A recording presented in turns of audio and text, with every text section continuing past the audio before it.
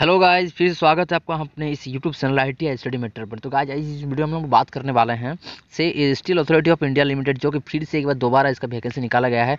और मैं बताना चाहता हूँ कि ये जो है वैकेंसी अप्रेंटिस के लिए नहीं है, ये बल्कि परमानेंट जॉब के लिए है।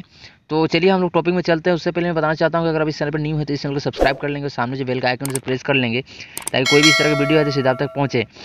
तो क्या जब देख सकते हैं ये परमानेंट जॉब के लिए निकाली गई है steel authority of India limited इसको स्टील प्लांट से, जो कि वर्णपुर और आप पिन कोड दे सकते हैं। पश्चिम वर्धमान, वेस्ट बंगाल पड़ता है। एडवर्टाइज नंबर आप देख सकते हैं यहाँ पे दिया गया है, और डेट भी सोलह बारह दो को जी इसका रिलीज़ किया गया है। हम लोग पोस्ट के बारे में बात करेंगे डिटेल्स ऑफ़ पोस्ट तो ये जो है, और इसको जो है आईटीआई वाले और डिप्लोमा वाले इसको जो है अप्लाई कर सकते हैं, और इसे अब हम लोग एग्जीक्यूटिव के बारे में देखते हैं एग्जीक्यूटिव में क्या दिया असिस्टेंट मैनेजर के बारे में दिया गया है इसमें name of the post and grade तो आप देख सकते हैं कि असिस्टेंट मैनेजर बॉयलर ऑपरेशन के लिए जो है इंजीनियर के लिए जो यहाँ पे पोस्ट दिया गया है छः यहाँ पे सीट जो दिया गया है, और कैटेगरी वाइज यहाँ पर बांट दिया गया है किसमें कितने सीट है। तो हम लोग बात करेंगे सीधे आई टी आई में बात करते हैं। हम आई के जो ट्रेड है, उनसे ज़्यादा हम लोग फोकस करेंगे तो चलते हैं हम सीधे आई ट्रेड में। और आप इसको भी थोड़ा जान लें मैनेजर में मैकेनिकल का है यहाँ पर दिया गया है, और manager chemical manager metrology manager कार्मिक तो ये जो है आपका पोस्ट दिया गया है तो हम लोग चलेंगे सीधे नीचे पे। ये सब जो है मेडिकल ऑफिसर के लिए ये सब है और ये आप देख सकते हैं यहाँ पे इसमें भी दिया गया है जो कि क्या बोलते हैं डिप्लोमा वाले बीटेक वाले जिसको अप्लाई करेंगे, सब जो, सबका पोस्ट दिया गया है, सबका जो पोस्ट का नाम जो यहाँ पर दिया गया है। है ना? आप नॉन एग्जीक्यूटिव की बार बात करेंगे, हम तो इसमें देख सकते हैं आप। आपका मैकेनिकल का बीस है, मेट्रोलॉजी का चौदह है, इलेक्ट्रिकल का बीस है इंस्ट्रूमेंशन का पाँच, केमिकल का पाँच, इस तरह से दिया गया है सीट को, जो कि आप इसे अप्लाई करेंगे, यदि आप इसमें एलिजिबल है तो इसे ज़रूर अप्लाई करें। ये परमानेंट जॉब के लिए मैं बार बार बता रहा हूँ। अटेंडेंट कम टेक्नीशियन हाँ इसमें जो है हम लोग आगे अटेंडेंट कम टेक्नीशियन जो कि आईटीआई से है, आईटीआई से रिलेटेड है ट्रेड, इसके बारे में हम लोग फोकस करेंगे ज़्यादा। तो ये देख सकते हैं फिटर में यहाँ पर दिया गया है तेरह, इलेक्ट्रिशियन में दस, टर्नर में पाँच, वेल्डर में दस। तो ये जो है, आप देख सकते हैं यहाँ पे जनरल के लिए छः तो इसी तरह कैटेगरी वाइज इसमें बांट दिया गया है। तो आप इसे अप्लाई ज़रूर करें, क्योंकि ये जो है परमानेंट जॉब के लिए है। और ये जो आप देख सकते हैं, ये सब जो है operator cum technician boiler operation का जो है, ये सब ग्रेड का है। जैसे एस थ्री एस वन हो गया, ये सब। तो आप देख सकते हैं यहाँ पे, जो मेन टॉपिक है, चलते हैं हम लोग सीधे। अब एलिजिबिलिटी क्राइटेरिया के बारे में बात करेंगे तो आप देख सकते हैं यहाँ पे कि असिस्टेंट मैनेजर जो है यहाँ पे पोस्ट छेक दिया गया है सीट और अपर एज लिमिट में देख सकते हैं, दस ग्यारह दो हज़ार तेईस को लास्ट इसका जो एज है, वो थर्टी ईयर्स तक इसका रहेगा। और उसका क्वालिफिकेशन के बारे में बात करेंगे हम लोग, देख सकते हैं आप। बी ए है बी टेक है मैकेनिकल इलेक्ट्रिकल केमिकल जो भी हो पावर प्लांट हो production instrumentation engineer from government recognise university institution with minimum sixty five marks fifty five marks S C के लिए जो फिफ्टी फाइव है। और जो जनरल कैटेगरी में आएँगे, उनके लिए सिक्सटी फाइव परसेंट मार्क्स चाहिए। तो आप देख सकते हैं क्वालिफिकेशन के बारे में बात कर रहा है मैंने। तो ये सब जो है आपका बी टेक वाले के डिप्लोमा वाले के लिए है। अब चलेंगे हम नीचे। नीचे आईटीआई में देखते हैं आई टी आई के बारे में थोड़ा जानेंगे हम लोग उसमें क्या क्या चाहिए। तभी आप इसे अप्लाई कर लेंगे आराम से। नॉन एग्जीक्यूटिव पोस्ट का देख सकते हैं आपके यहाँ पे operation cum techni technician training के बारे में यहाँ पे पोस्ट दिया गया है बीस। और अपर एज लिमिट देखते हैं। आप ट्वेंटी ईयर्स दिया ट्वेंटी एट ईयर्स जो है लास्ट इसका एज जो दिया गया है। उसमें क्वालिफिकेशन के बारे में बात करेंगे हम लोग तो। क्वालिफिकेशन देख सकते हैं matriculation with three years full time diploma चाहिए इसमें। किसमें ना ऑपरेशन कॉम टेक्नीशियन में। और mechanical engineering from government recognised institute with minimum fifty percent marks and forty percent S C S T जो आते हैं पी डब्ल्यू डी के का जो लोग आएँगे जो, उसके लिए जो है इतना परसेंट चाहिए उसको। तभी इसे अप्लाई कर सकेंगे। तो आप इसे क्लियर से, अच्छे से थोड़ा सा देख लेंगे सही से। आपको किसमें योग्य है तो आप उसे सही से चेक कर लेंगे। ज़्यादा टाइम ना लेते तो चलते हम नीचे।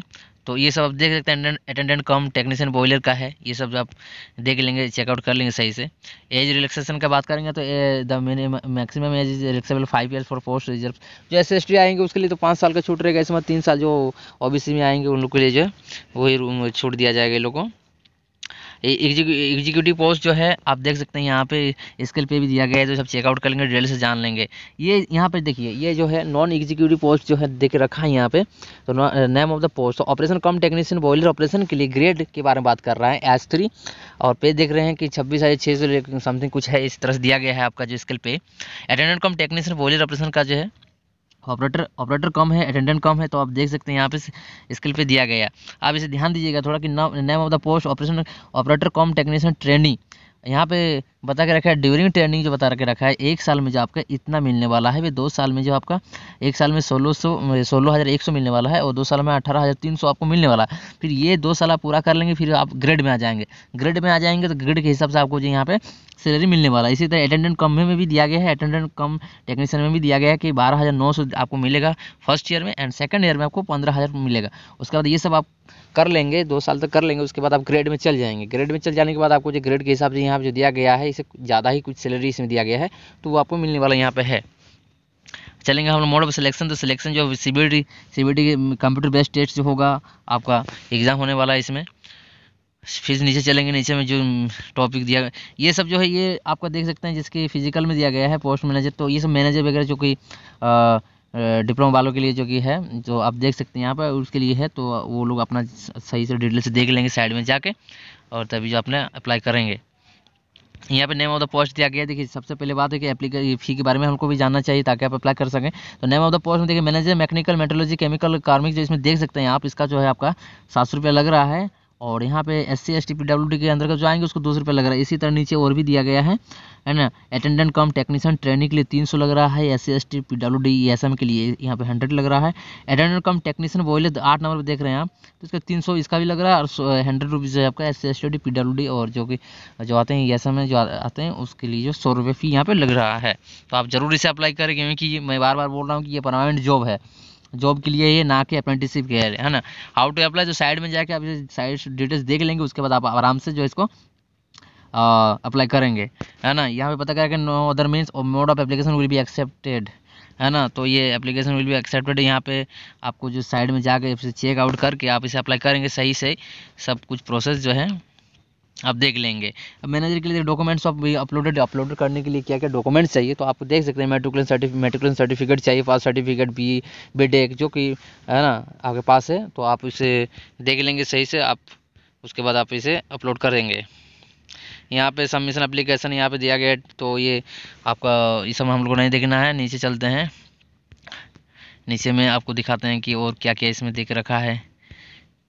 इसमें यहाँ पे हाँ ये तो इंपॉर्टेंट डेट आपको जानना ही जाना है तो दे, देख सकते हैं आपके start start of online application यहाँ पे बीस तारीख से जो कि आपका स्टार्ट होने वाला है यहाँ पे और क्लोजिंग डेट जो है आपका दस एक दो हज़ार तेईस तक मतलब आपको अच्छा खासा टाइम भी दिया गया है तो आप आराम से इसे अप्लाई करें और इसे इस तरह और इस वीडियो में तो ऐसा कुछ है नहीं तो आप लोग देख लिए हैं आइडिया वाले भी ज़रूर इसे अप्लाई करें परमानेंट जॉब है और इस वीडियो को अगर अच्छा लगे तो वीडियो को लाइक शेयर कमेंट ज़रूर करें ज़्यादा से ज़्यादा शेयर करें है ना तब तक के लिए जय हिंद वंदे मातरम।